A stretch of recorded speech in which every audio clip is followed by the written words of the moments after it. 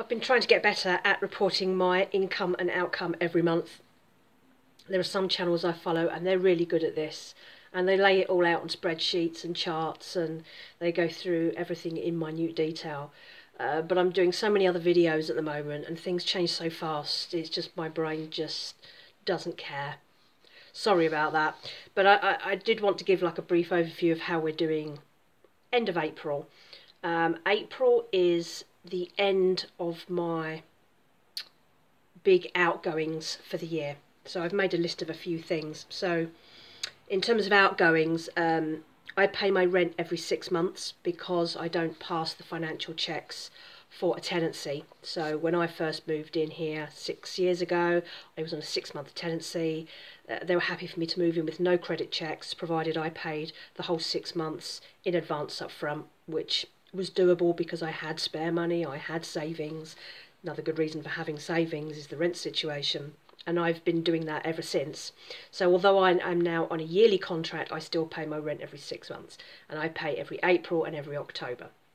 So I paid up my rent um, around the middle of April, and that was £3,600, and then that will cover me for the next six months. This is the second of my two payments. In October, when I pay again, presuming I pay again, that is when my contract is up for renewal, and I will see how much my rent may go up again this year.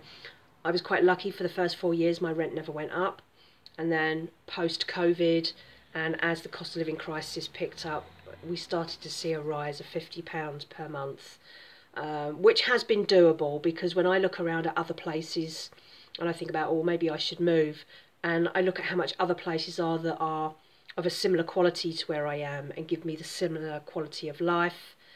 Um, they're more expensive. They're not horrifically more expensive for a, I don't know, I haven't looked at any places, but I wouldn't want to be any smaller than I am now. And then, of course, there's the moves that, that come, or the extra costs that come with it. So you've got to hire removal men. Uh, you might have to get rid of stuff. You might need to buy new stuff. Uh, you might have to put stuff in storage. There's uh, the extra costs that go with getting your old deposit back, putting in a new deposit, and it just spirals. And I still wouldn't get the credit checks, so I might have to pay a year in advance because I've seen this happening a lot in the last couple of years where a lot of tenancies have now been a whole year in advance, which is just a joke. So, uh, you know, I stick with it. Um, other bills that are unusual, well, I paid up my pension for the year. My aim was to put in a total of 3,600 a year that's including the 20% that the government puts in for me as a non-taxpayer. So I'm aiming to do that each tax year. And because I only started my pension this January, I had a lot of catching up to do. But I also, this year, I have several fixed rate savings accounts maturing at various points in the year. And so I was able to top up that account, that pension account, before the end of the tax year and then start again with uh, it'll be in May will be my new year of payments. So this month my pension received an extra £2,496 but that doesn't affect my usual outgoings and incomings because like I said this is coming out of other savings that I've had stashed away gaining interest. There isn't much interest coming from those accounts if I decided to renew them.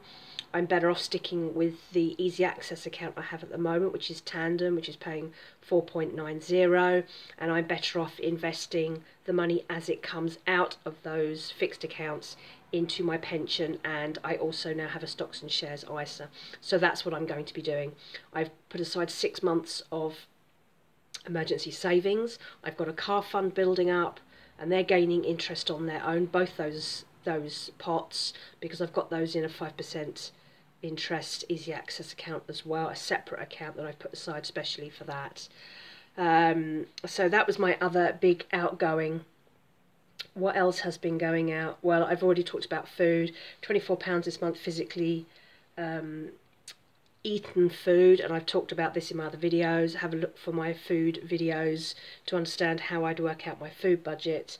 Um, yeah, my ISA, I now pay out £25 a month to that. My pension, as standard, gets £192 a month, which tops up to 240 with the government money.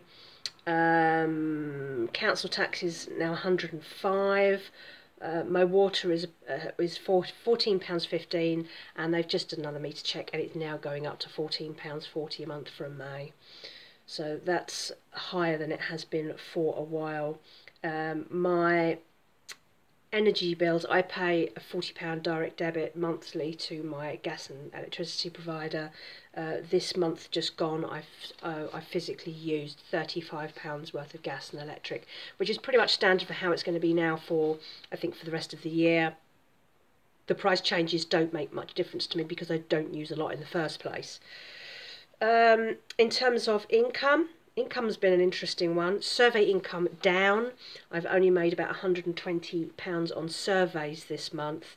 It's just been a bit of a ropey month, really. Some survey sites are offering almost nothing. Get screened out of a lot of stuff, la di da di da. Um, my little part time cleaning job, which is eight and a half hours a week, this month has paid £369. Um, YouTube paid me £162 and five pence.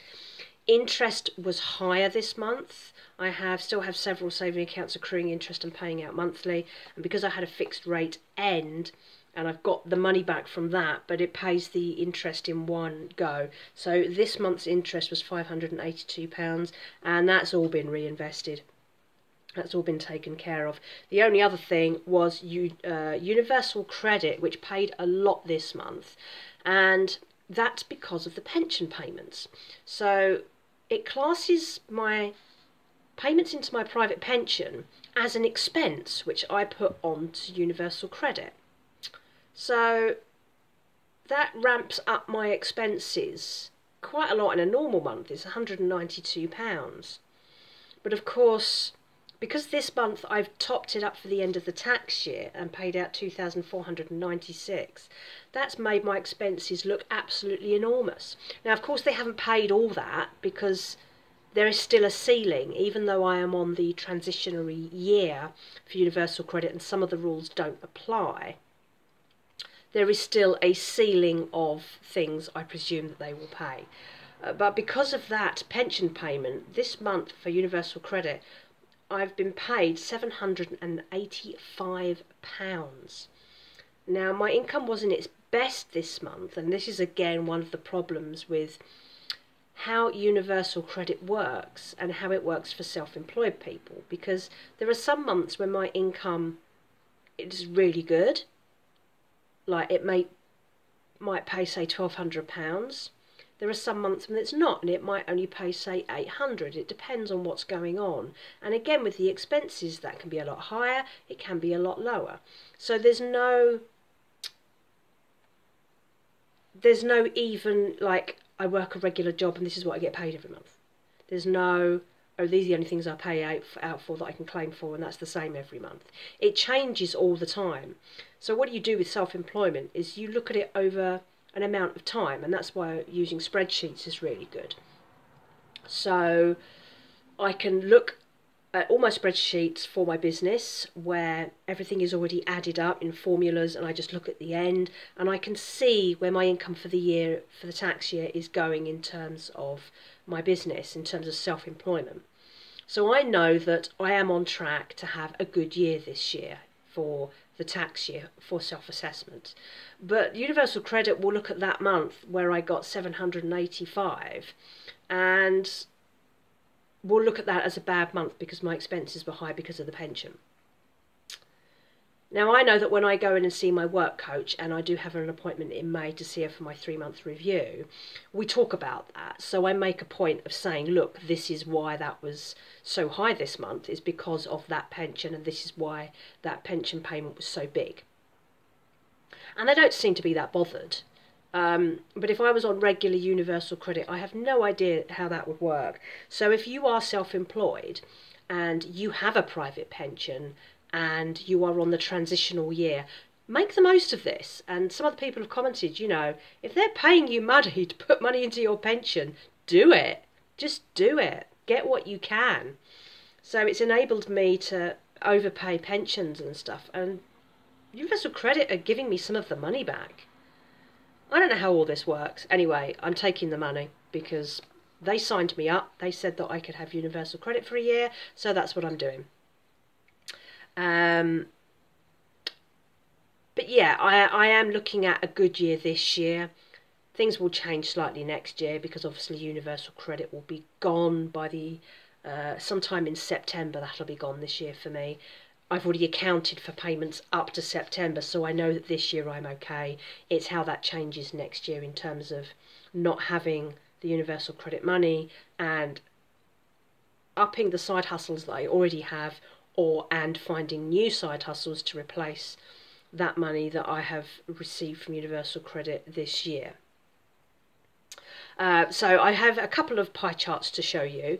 Uh, one is my income, and that's and you can see all my income streams there. There's all sorts of things there. There's passive income, there's gifted money, there is actual income, there is universal credit, there are donations, there is YouTube. Everything's there. You can see all the percentage numbers based on everything that comes into my pot of self-employment and then that gets declared at the end of the year and the tax year has now ended i am going to set aside some days uh, like four or five days in june where i will go through and do my self-assessment. My self-assessment is really quick. It takes me a few hours because all my spreadsheets are always up to date and i already know the numbers.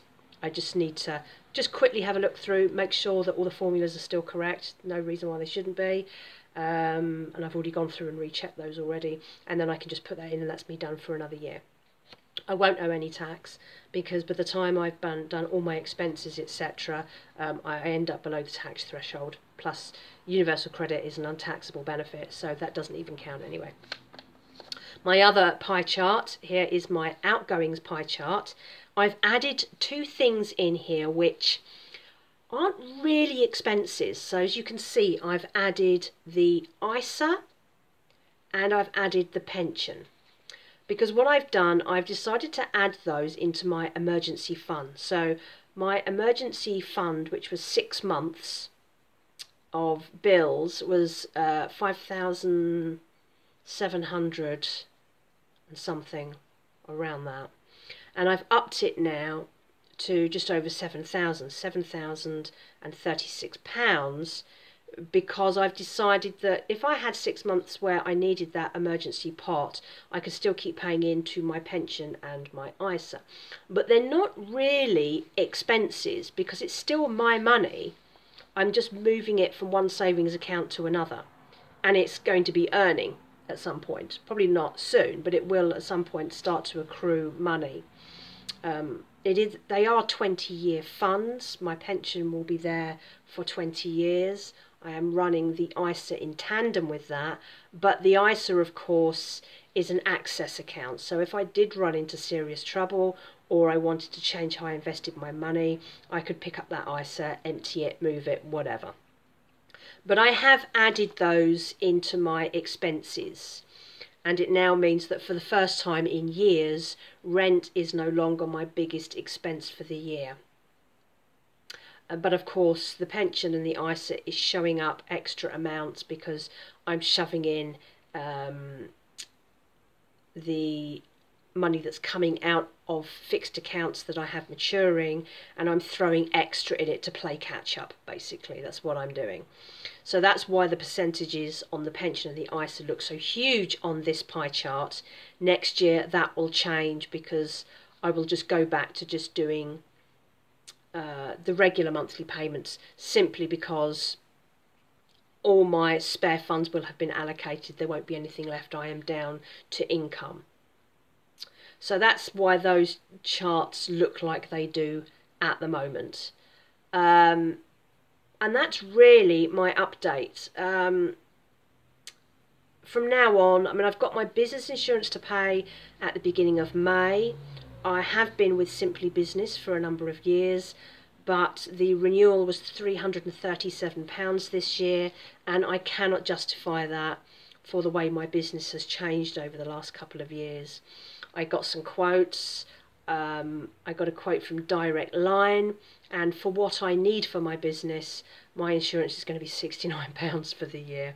So I'm going for that. So that'll be my last unusual expense for the year. Now I'm just down until October. I will now be down to just paying out the usual. So the food, the, the everything else pile, um, Peugeot out to my service package, council tax, water, gas and electric, food, the usual bits and pieces.